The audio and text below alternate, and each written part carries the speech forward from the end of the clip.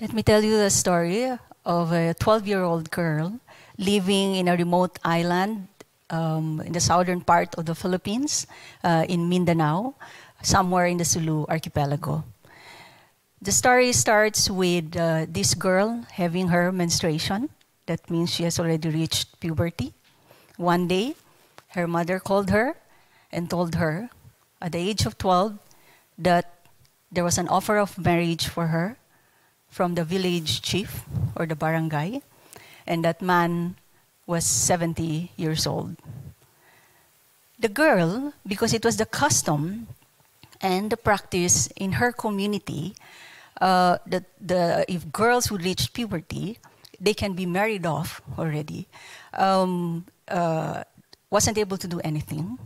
And so she was married to this 70 year old man, and she became the 13th wife of this 70 year old man. So there were 12 other wives. Let me bring you to another story. Also, in a village, there was this 12 year old girl who was going to school. And one day she was raped by the security guard of that public school. Because they live in a remote community, her case was brought to what we call the Council of Elders. Uh, we have what we call the Katarungang Pambarangay Justice System, which is a community level um, uh, CIJ, Customary and Formal Justice System. And the decision was uh, for her to marry the rapist, who was around uh, 15 years older than her. Her mother decided to file a case against the rapist and came to me. And uh, I was supposed to handle the case, but we didn't reach the Department of Justice level because her family was threatened.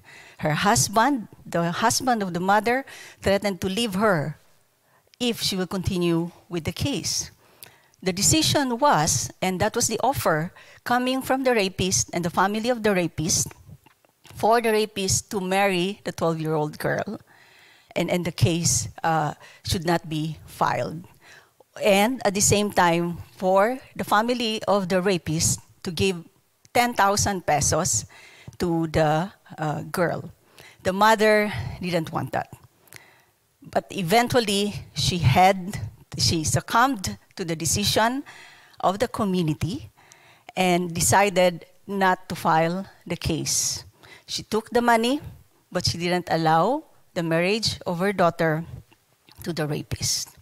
In another case, there was um, a rido, which, we, which means a clan war or a political clan war that's based on honor or maratabat in the local term. And these men had to take a revenge against their enemies. And what they did was they went to this village, burned the whole village down, and raped four women. Specifically, why did they rape these four women? Those women were the wives of their enemies. Rido. In that particular scenario, the people who were involved in those situations utilized customs, traditions, and informal justice system. And they thought that if they're going to utilize that, then justice will be provided to them. Unfortunately, in some cases, like in the three cases that I've said, the CIJ, or customary informal justice system, didn't work for them. But there are also good cases. Like, for example, a woman who was married off by her father when she was just 15 years old.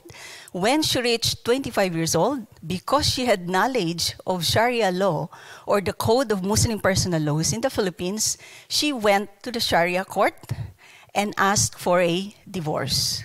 She went through the process and the divorce was granted to her. In the Philippines, we have all the best laws that, that you can have, you can find. We, uh, there is a principle of legal pluralism. There is a separation of the church and the state. All the international human rights instruments are incorporated into the law of the land and are considered laws in the country. There are laws on violence against women and children, against trafficking, um, against abuse of children, specifically girl children. There are anti-trafficking and anti-violence against women and children centers, safe spaces where women and girls can go. However, the three stories that I told you about are still happening. Why? Because those are justified by using the reason of custom, religion, tradition. They justify their actions based on religion. For example, in this case, Islam. So, how do we make justice accessible to women and girls then? In those particular cases, when they use custom and religion um, to justify discriminatory acts against women and girl children. Well, there are several uh, ways of doing that. There is no one size that fits all of uh, the, the problems that we have with respect to discrimination against women and girls. But what we've done in the last uh, few years was to look at legal reform. Reform the formal laws that are already there, reform the structures themselves. We have courts that have court annexed mediation. It's an alternative dispute resolution, and it's faster it's less costly. You don't have to pay anything. So you can go there and uh, the court will help you mediate or settle the problem. On the other hand, under the customary informal justice system, we have the Sharia justice system using the Code of Muslim Personal Laws or the Presidential Decree number 1083.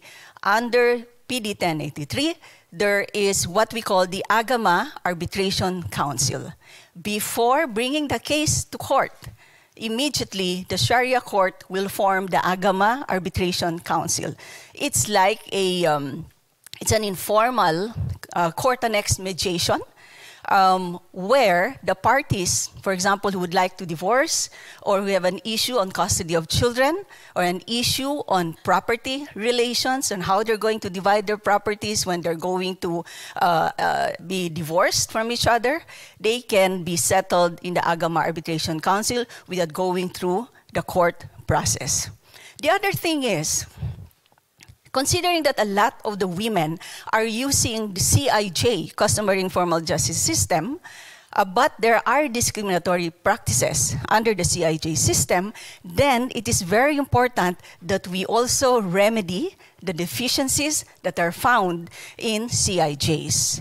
How do you remedy? Make sure that women are represented, and they're not just represented, they are the decision makers themselves.